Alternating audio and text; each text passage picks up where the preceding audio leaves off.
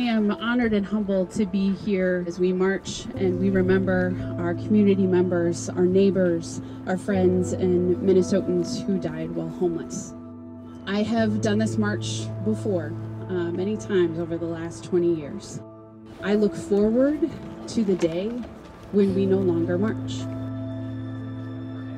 I am honored and humbled to be with you tonight, not as Lieutenant Governor, but simply as a community member walking side by side in solidarity and dedicating ourselves to say that everyone will have a place to call home. Chi-miigwech, thank you. I'm Steve Horsfield from Simpson Housing Services. Thank you again, everyone, for coming out this evening for our 35th annual march. This is a silent vigil march. We will be following Luna, our puppet, at the head of our procession. We will be marching to Plymouth Congregational Church at Franklin and Nicollet. Please be respectful and remember the reason that we're all here. Um, please be safe, and we'll try and stay as, as grouped together as best we can for a safe march. Thank you, everyone.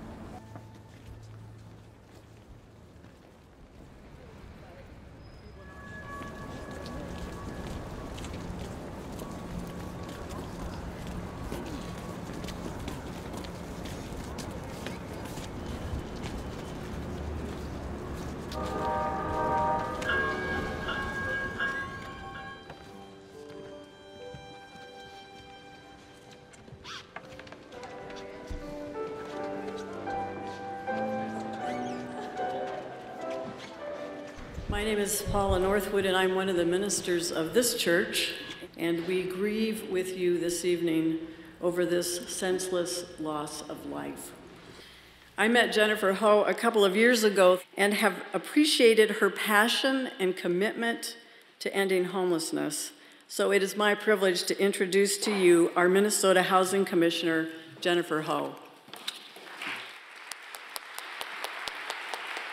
We can and must do so much more so no one dies outside, so everyone has a safe and stable place to call home. Some of our neighbors died alone. Some of them died outside on a night like this, or worse. They spent not just one night outside, but many, too many. We need to stop to remember those who died this year because we still lack. And so we stop and carry on with urgency in your names. Thank you.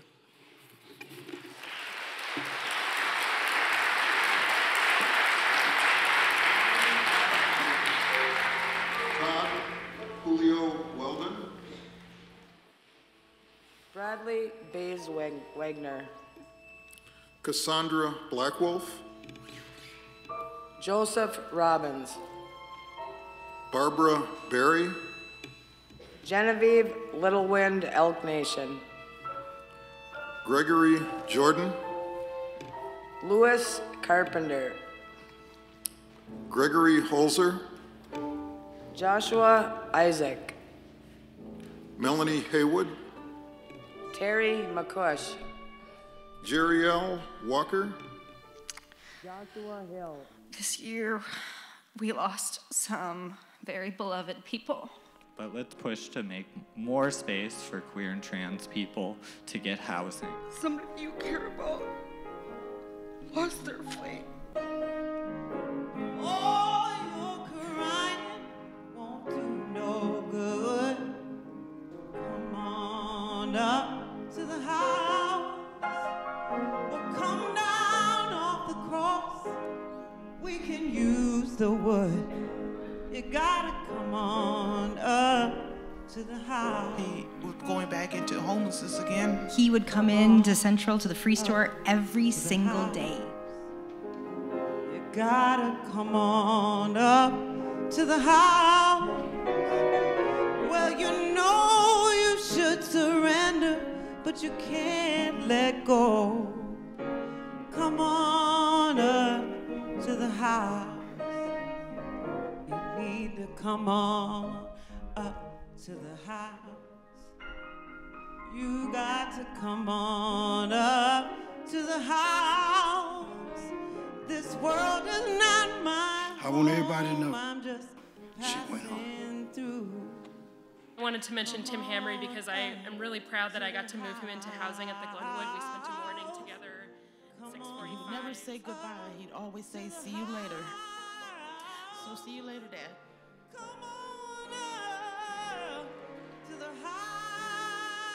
Good evening. My name is Steve Horsfield, Executive Director at Simpson Housing Services. On behalf of the organizing committee, I welcome you to the 36th annual Minnesota Homeless Memorial.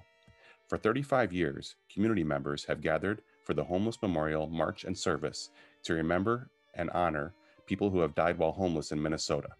We honor community members who previously experienced homelessness and have since transitioned into stable housing. We remember advocates no longer with us who have devoted themselves to walking alongside individuals who have experienced homelessness. We remember each person who died while homeless.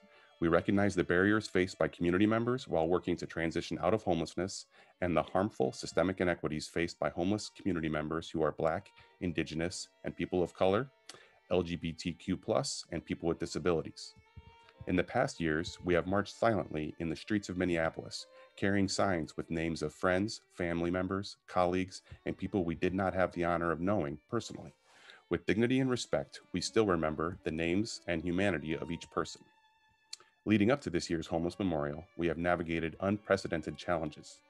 The COVID 19 pandemic, the murder of George Floyd, and political divisiveness propelled our community into uncertainty, emotional turmoil, and disconnection, with repercussions deeply felt by people who are experiencing homelessness and community members who are Black, Indigenous, and people of color.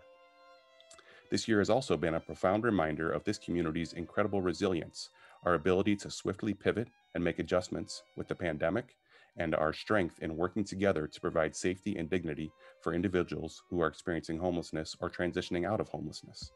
Tonight, we share a pre recorded memorial service with the community we will remember and honor 197 people, 84 who were lost while not housed, 89 formerly homeless friends, and 24 advocates who passed away in 2020.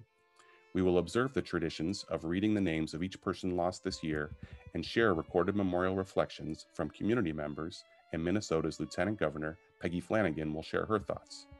We miss that we can't be together in person for the Homeless Memorial March and the community meal, a time to break bread with one another. We are so glad that you and each community member who joins us tonight is here as we honor each person who died while homeless last year. If you are viewing tonight's recording on Facebook Live, we encourage you to share a brief thought on the people we are honoring tonight. Later this evening and in the days ahead, I invite you to spend more time in reflection. Thank you for being here with us tonight. I'm honored to be with you in this virtual space to join together in community and in remembrance. This is an opportunity for all of us to remember the lives of neighbors, relatives, and friends who passed away this year, those who may not always have had a home to shelter in. Today, there are 197 names to remember. For many years, this march has been an important tradition for me. And when I marched with you last year, it was my first time doing so as Lieutenant Governor. This has been an incredibly difficult year for all of us. When we came together last year, none of us were expecting to face the additional challenges that 2020 would bring. And I know that it feels like a lot has changed over the last 12 months. But one thing that has not changed is that every single person deserves a safe place to call home. That has always been true. But the need for a home has never been clearer than during a pandemic. Home represents safety, a warm place to sleep, and now protection from the virus. As we have learned over the last nine months, Minnesotans experiencing homelessness who contract COVID are far more likely to need hospital or ICU levels of care. It is incumbent on all of us to make sure that everyone has a safe place to be. And the safest place for you during a pandemic is your own home. But too many Minnesotans are struggling right now to keep their home, or they may find themselves already on the street. We know that COVID 19 did not create the housing crisis. Finding housing that is affordable was already a challenge that was affecting every corner of our state. That's why the governor and I have made housing a cornerstone of the administration since taking office. We understand that students can't perform well without a home. Having a safe place to call home keeps Minnesotans healthy, and having a reliable place to live helps families find economic stability. Home is everything. I can tell you that the COVID 19 crisis has only deepened our resolve. It has exposed the disparities and inequities in our society. It has required crisis management and urgent, quick collaboration between the state, counties, cities, and tribes to find and manage isolation spaces, fund emergency shelter provider services, staffing, food, and create testing opportunities for those experiencing homelessness. We have to keep doing the work. And as we read these names and remember those that we have lost this year, I feel that we also must recommit to each other and to our obligation to continue fighting in order to make sure that every Minnesotan has access to affordable housing. As long as any of our neighbors is uncertain about having a safe place to sleep, there is work to do. When we get through this pandemic, and we will, we do not want to go back to normal. Normal was not good enough. Normal meant thousands of people without anywhere to live and hundreds and thousands of people living on the edge. I want to close with gratitude. Thank you for holding this important, powerful space every year. And my biggest thank you is to the folks who are working in our shelters and as service providers. Thank you for working tirelessly to serve our neighbors and to find safe housing for Minnesotans. I'd like to take a moment to recognize one name that was read today that of George Floyd. His story is representative of the many things we are grappling with in this moment. But today, I'd like to lift up his work with the Salvation Army. The work of providing shelter and outreach is always challenging, but no more so than right now. I am grateful for all that you do. Last year, I shared how I look forward to the day that we no longer had to march for those we've lost. But that day is not today. And until we are truly able to come together to meet the housing needs of our neighbors, I am honored to be your partner in this work. Thank you, and I look forward to continuing to work alongside each of you in pursuit of housing for all Minnesotans. Chi-miigwech.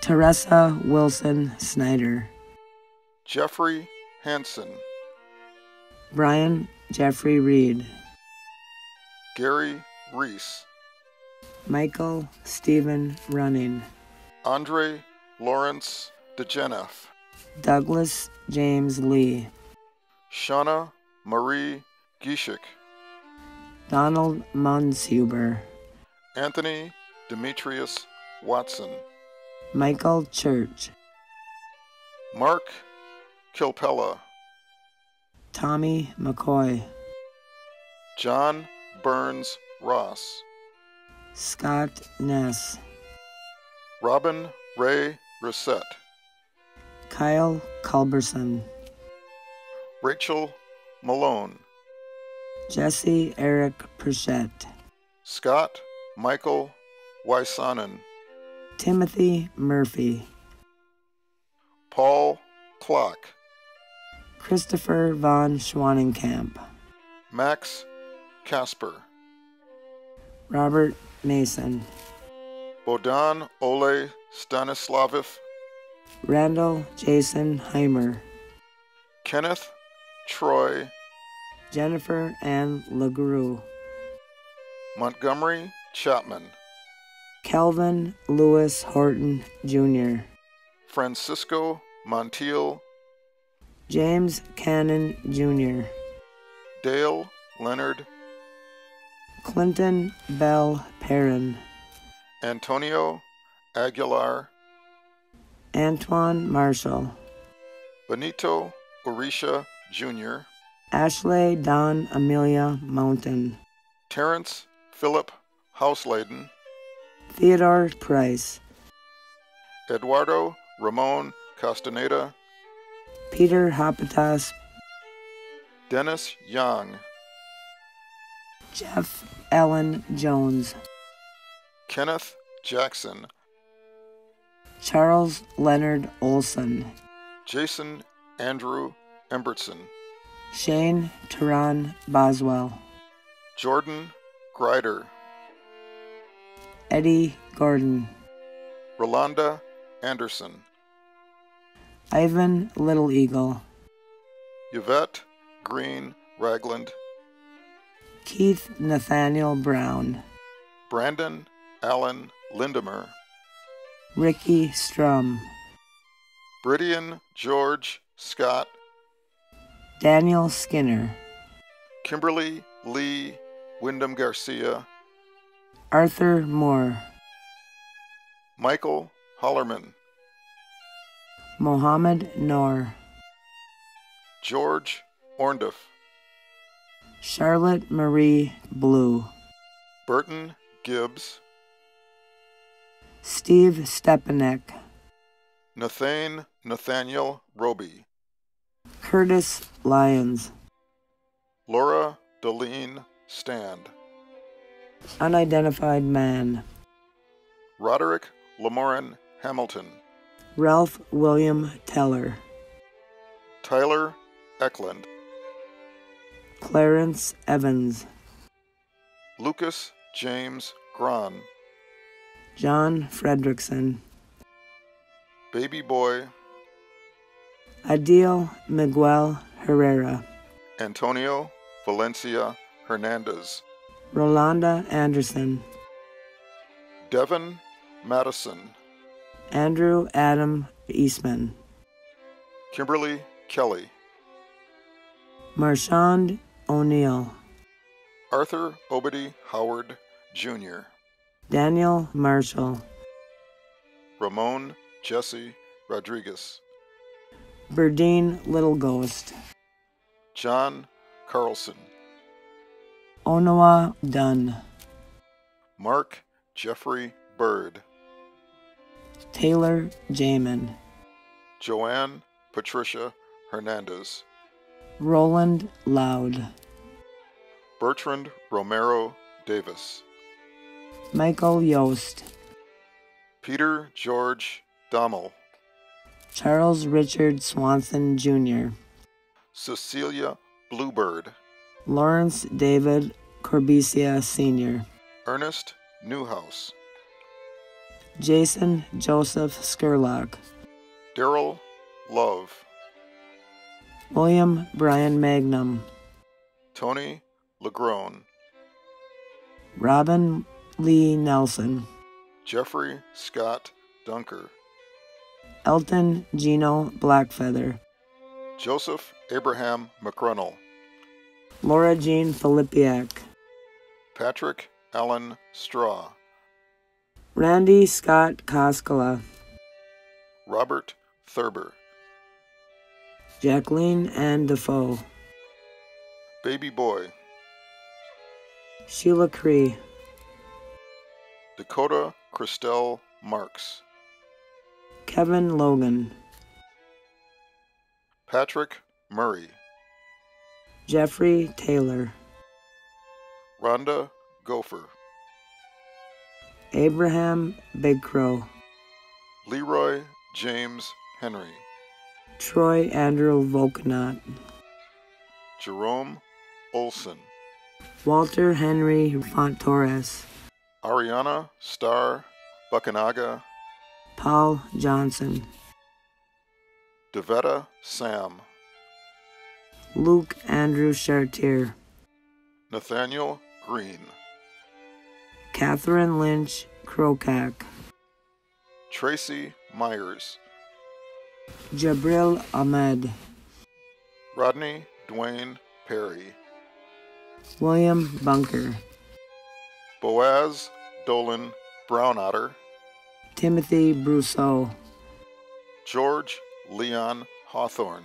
Santiago Rodriguez Montano, Martin Ellingson, Joseph Eugene Blackadder, Lucinda Renee Aganash, Dave Helmer, Michael Simone, John Brisker, Eddie Soul Jr., Ronald Skinner, Elizabeth Ann Storm, Jaden Lahu, William James Nichols, Elizabeth Ann Elmore, Robin Lee Desjarlais, Elizabeth Ann Jurek, Brian Vincent Nelson, Troy Davis Jr. Jones, Elijah McPhee, Derek LeJohn Addison, Brian Durrell Hess, Carlos Armando Melgar,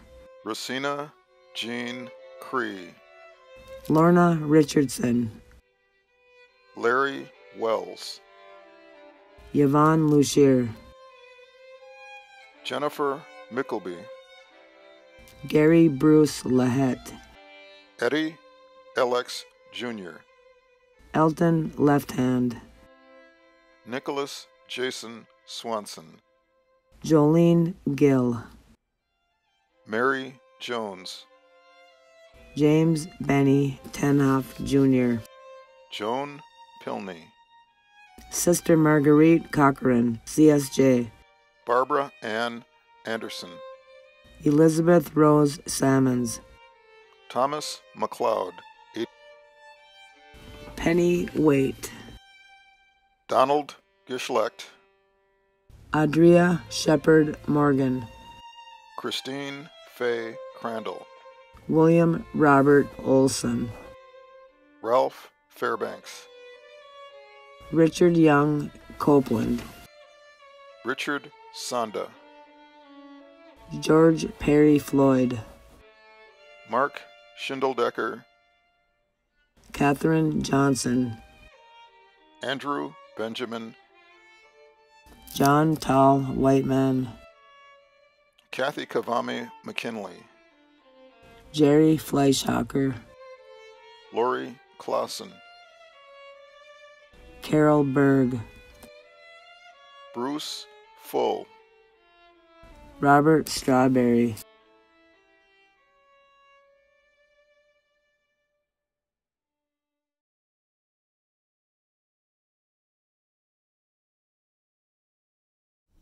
I'm Robert Hoffman. I'm the shelter manager at Simpson Housing, and there are a few individuals who we're remembering this year who I'm never going to forget. Uh, Bodan Stanislav, who we just knew as Stan. The first night that he came into my life, I remember him saying, I knew I was going to have something lucky happen to me today. It's Ukrainian New Year's Eve. Uh, Shauna Gishik, who used to come by the shelter in the dead of winter to get hygiene supplies from us or other basic things, but never wanted to stay until we found out the reason, which is that she'd found a stray cat, a little kitten that she named Boots, and she wanted to stay outside because she didn't think she could have him in the shelter and she didn't want him to be cold. Uh, luckily, we got them both indoors. Rod Perry, who looked like an extremely tough customer and acted like one too, he had lost an eye in a knife fight and had some pretty gnarly scars all up and down his arm. But once he got into housing, I learned a lot more about him. Uh, he could build furniture from scratch with his bare hands. He wrote poetry in Gaelic, and he got a dog who he loved and absolutely babied. Uh, Robin Rousset, Robin. Uh, she lived the last couple years of her life on the streets while she was dying of breast cancer. Stubborn and fierce, and always looking out for everybody but herself, uh, up until the moment that she entered hospice. Paul Clock, who I cannot tell a polite story about in this setting. Uh, Marchand O'Neill, Brian Nelson, Roland Loud, so many others. Someone that I'd like to honor and remember is Leroy. Leroy was um, one of the first people that I met when I started working here at Simpson, and he was so inviting so warm.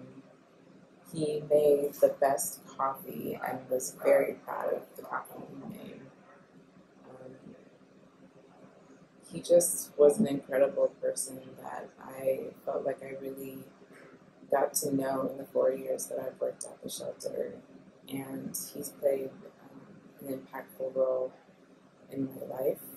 And I really do miss him. I miss him walking through the door and saying, hey, kiddo, and throwing a whole bunch of candy on the desk and just his warm presence.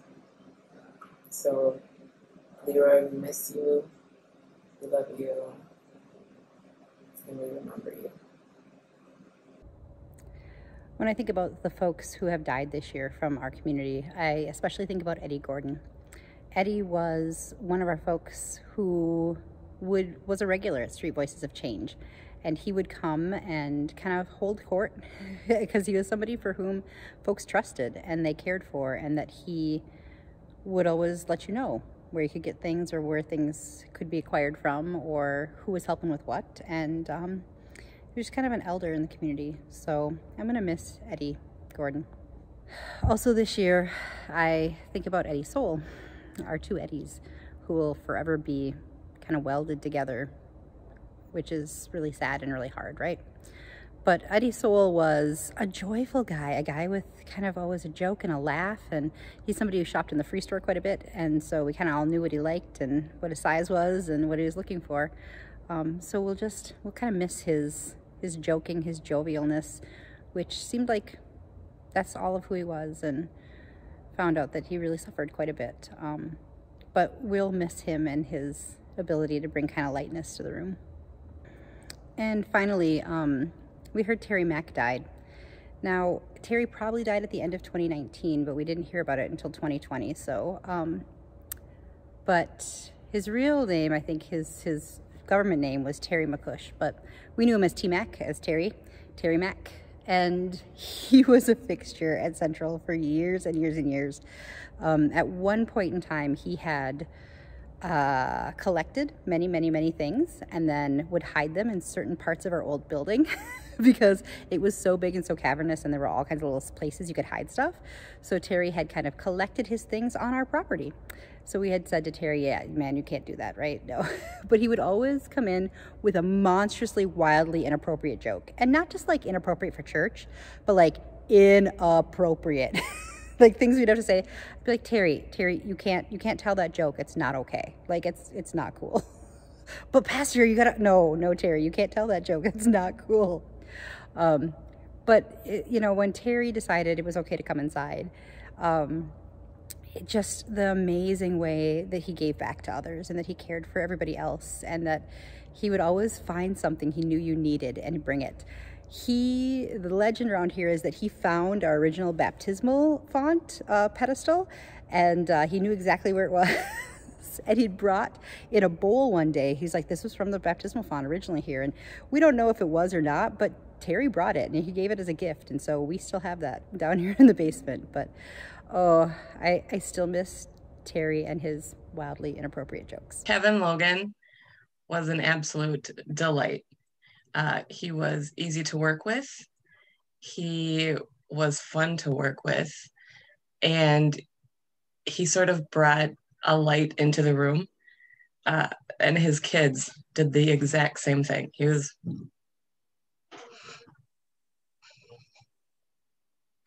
a really wonderful father to work with. Yeah, I I loved, absolutely loved working with Kevin and his children, and they were very special um, to the community at Passage. And um, you could tell in just an instant how much they all loved one another um, and how much they loved their dad.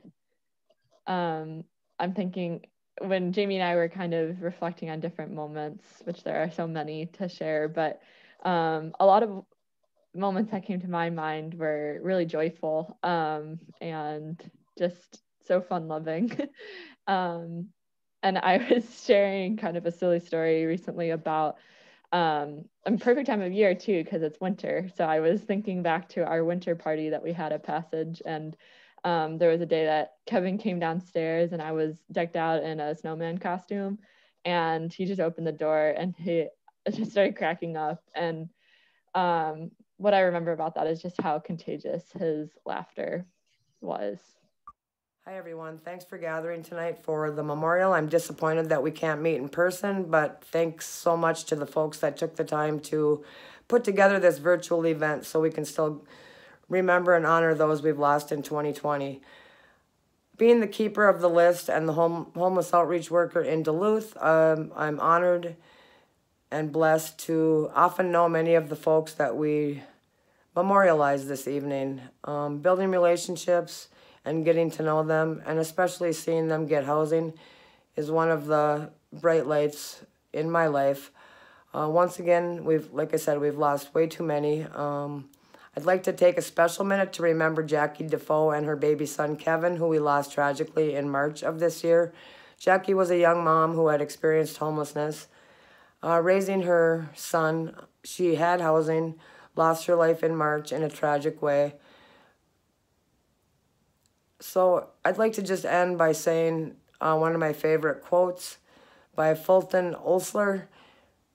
Please, when you meet a stranger, treat them well. Under a ragged coat, they may hide their wings. Thank you. What do you remember about Leroy?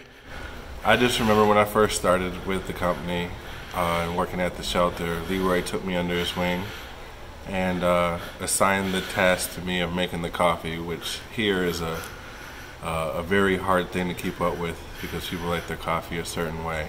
Yeah. uh, I remember it took a while to whip me into shape, but I finally was able to make it how he liked it, nice and strong with a little punch. Uh, and I remember he used to always give me a hard time when he came in here, how long it took me to pick up his traits for coffee making ways. How are you going to keep his memory alive? Making sure everyone makes potent coffee. Can't have any of that watered down crap, as he would say.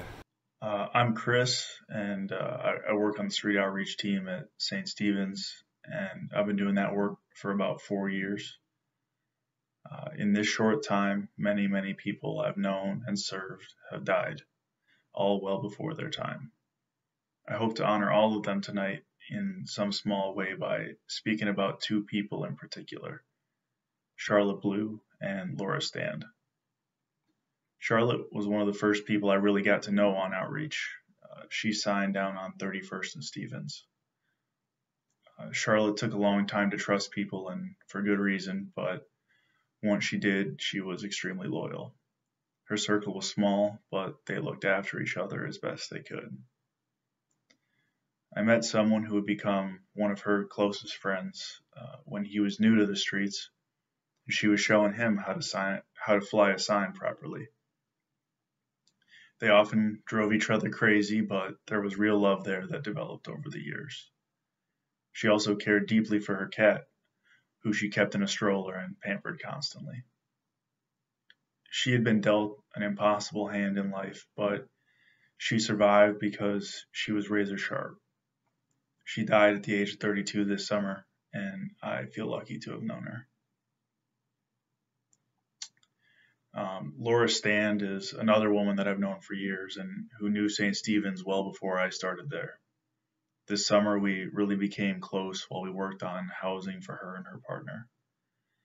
They were both caught up in the legal system on the sort of ticky tack warrants people experiencing homelessness deal with far too often. After months of waiting and paperwork and bureaucracy, they finally had a move in date. Um, a week or two before they moved in, Laura was picked up on a warrant and held, eventually transferred to Anoka County, where they planned to hold her past their move in date. Uh, after some finagling, they agreed to release Laura on Wednesday ahead of her move in on Monday. I drove out to pick her up from Anoka, and we drove for almost an hour back to the cities. Uh, we had the kind of deep conversation that this work is all about. She talked about the tragedies of her life, but Laura was also so excited for the future and for stability. She was filled with love for her kids, for her partner Will, for her sisters, and for her dad. I dropped her off at the park and While her tent had been removed by the Parks Department, her sister excitedly offered to share her tent. Uh, the, the next day, I got a call that early in the morning, Laura had passed away from an overdose. This was a particularly cruel tragedy, and everyone who knew Laura is still grieving, but I'm still so grateful for that car ride that we shared. They were both Native women in their 30s and were unbelievably resilient. They were both casualties of an opioid crisis that has been growing for years and will outlast this pandemic by a long shot. They're also ca- casualties of the capitalist system and a society that demands surplus for a few and grinding poverty for the rest. But they were also real and full people with dreams and potential, along with everyone else that we honor here.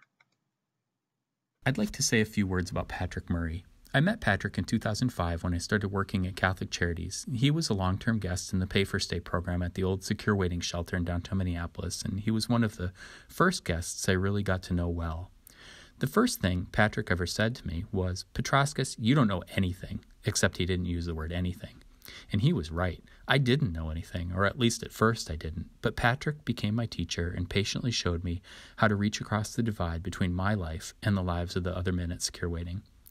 Patrick was a delight to spend time with. He was a hustler, he had boundless energy, he was a joker, and he was an endless talker. Talking with him was a little like being blasted from a fire hose. He was hilariously opinionated, incredibly intelligent, and he could talk at great length about any subject. His favorites were science, sports, politics, arts, culture, and especially music. Every time we talked, I came away with a new list of unknown artists to check out. During the time I knew him, Patrick was homeless more than he was housed, and he wrestled with chemical dependency, mental health, and physical illness during most of that time. But I'm glad to say he'd been housed at Catholic Charities Higher Ground for several years before he passed away this summer. One last thing is that Patrick's Anishinaabe heritage was extremely important to him, and he had a deep connection to the Ojibwe language and culture and spirituality. So I want to end by saying, Gigawabamin Minawa Niji. See you later, my friend. One of the folks that I was privileged to work with and walk alongside was Carlos Melgar. Um, one thing I'll always remember about him is that he kept his apartment sparkling clean. Everything had a place, and every time you walked in there, it smelled like really good incense. Um, and I know that he was really nervous that when he passed, he would not leave a legacy and he wouldn't be remembered. Um, and he would remind me of that every time we talked, not to forget about him. And so I think it's important to continue to tell his story. Um, and he has shown that he has left a ripple effect already and has reached people that I couldn't even imagine with his story um, and his life. So it's important to continue saying his name, continue telling all of our clients' stories, um, and that Carlos Melgar has left a great, great legacy that has reached far and wide.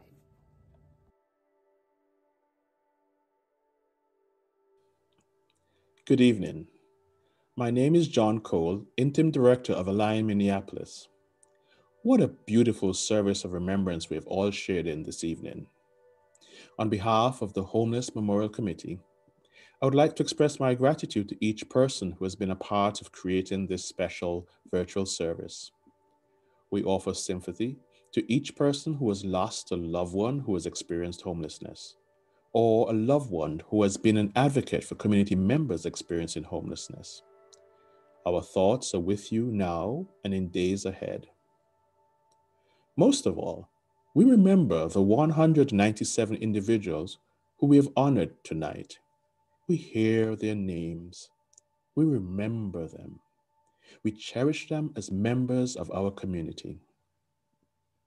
Normally, each year following the Homeless Memorial Service, we would all share in a community meal, break bread together, and celebrate the lives of beloved community members. I am sorry that we will be unable to do that this year. We will miss the delicious meal usually provided by Minnetonka United Methodist Church.